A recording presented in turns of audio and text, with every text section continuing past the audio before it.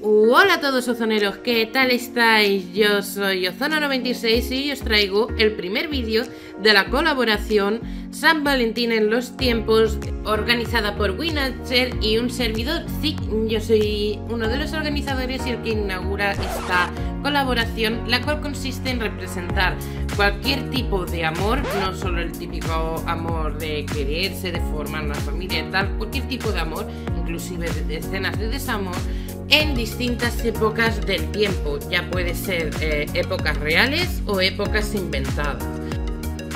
A partir de mañana vais a tener dos vídeos de distintos colaboradores que los tendréis todos en una lista de reproducción que tendréis aquí abajo en la descripción y cada uno va a representar alguna escena de amor, desamor, lo que sea, de cualquier tipo de formas de amar en épocas determinadas de la historia, mm, ya sea el pasado, el presente, el futuro, lo que sea. Os digo, yo sé cuáles son todas las temáticas y son una auténtica maravilla todas y cada una de ellas. Y espero que estéis muy atentos a todos los vídeos que se van a ir publicando en esta colaboración. Tendréis todos los participantes, todos sus canales o blogs ¿vale? Porque también participa gente que tiene blogs o páginas web. Eh, os lo voy a dejar todo en la descripción junto con la lista de reproducción donde se irán añadiendo conforme vayan saliendo todos los vídeos de esta colaboración. He de decir que las ideas que tienen mis compañeros son una maravilla y os voy a explicar un poquito mi historia. Mi historia va a estar basada en el futuro, por eso estáis viendo que estoy haciendo aquí unos personajes que, en fin, en la historia que os voy a contar ahora al final mm, la vais a entender y demás. También decir que la construcción que he empleado para hacer todas las fotos y demás mm, es una construcción que he empezado a hacer y no está del todo terminada y la voy a terminar de hacer seguramente o bien en algún directo mm, que haga por Twitter o lo haré en un vídeo porque ya he grabado lo que es la construcción. Lo que pasa es que si metía la construcción junto con el crear un synth, el vídeo sí va a quedar muy largo, así que ya veré a ver cómo lo hago. Y nada, espero que os guste mucho esta especie. Va a ser entre comillas machinima, pero más bien con fotos. Alguna imagen un poquito así y demás, pero no sé, ya me diréis, espero que os guste, sobre todo la historia, que os guste mucho y que os guste la colaboración. Recuerda que lo vais a tener abajo la lista de reproducción. A partir de mañana se irán subiendo dos vídeos diarios prácticamente todos los días. Así que nada, mm, de aquí al 14 nos veremos. Después posiblemente haya otro vídeo después del 14, pero no os preocupéis, estarán todos metidos en la lista de reproducción. Y ya nada más, ya estamos terminando de ver lo que es este Speed Sim. Espero que os guste mucho los sin recordar que los tenéis en la galería con mi de Origen Ozono 96. También espero que os guste mucho esta historia que voy a contar. He de decir que es una especie de mini machinima más o menos, con fotos y partes de vídeo y demás. Me ha costado mucho hacerlo, es la primera vez que lo hacía y la verdad es que no estoy muy seguro del resultado, si os va a gustar a todos. Y eso, así que recordad que me podéis seguir por todas mis redes sociales que habrán estado saliendo durante el vídeo, también las tenéis abajo para que podáis acceder más fácil en la descripción de este vídeo. Y nos vemos en un próximo vídeo. Adiós.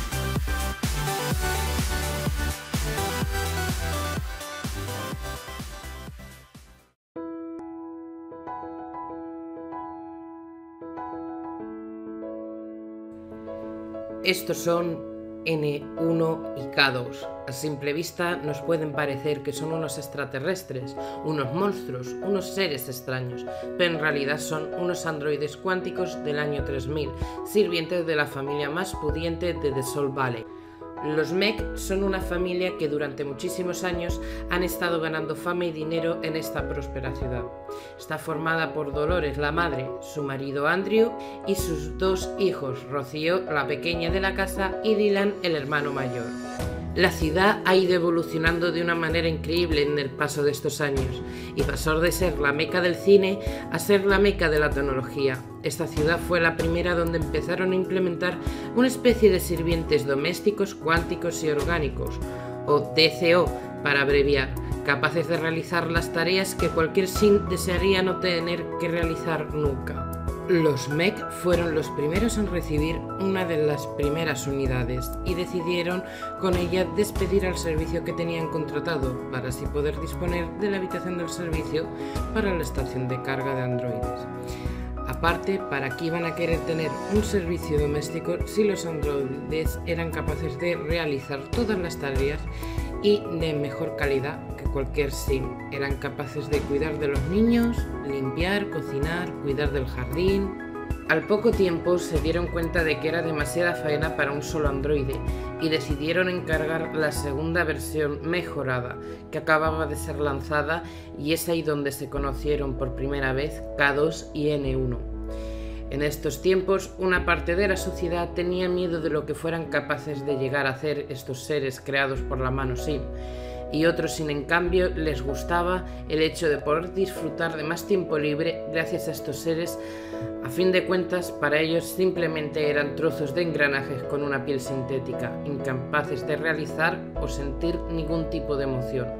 Con el tiempo, los dos aprendieron a realizar las tareas que tenían que llevar a cabo de una manera más rápida y fácil para los dos, intercambiándose las labores que les eran más afines para su programación. Inclusive, si no fuera porque era algo completamente imposible, se podría llegar a creer que eran amigos. La matriarca de la familia empezó a sospechar de que no eran simplemente piezas mecánicas con una piel sintética, sino que llegaban a tener una especie de comportamientos muy semejantes a los Sims de carne y hueso. Y eso a ella no le gustaba. El tiempo libre que tenía Dolores Meck lo dedicaba a espiar a sus sirvientes por medio de las cámaras que tenía instaladas por todo el solar. Era una tarea ardua y obsesiva, pero llegó a notar cosas muy extrañas que le empezaron a preocupar y enfadar cada vez más, y es que en los momentos que no les veía nadie, K2 y N1 parecían que se estaban divirtiendo juntos con el tiempo, esa diversión llegó a ser algo que Dolores no podía permitir y decidió tener una conversación con ambos y decirles que lo que estaban haciendo estaba muy mal, porque ellos no podían tener sentimientos. Cuando oyeron esas palabras K2 y N1, se empezaron a preguntar muchas cosas. ¿Qué significa tener sentimientos? ¿Es algo que está bien? ¿Es algo que está mal? ¿Por qué está mal?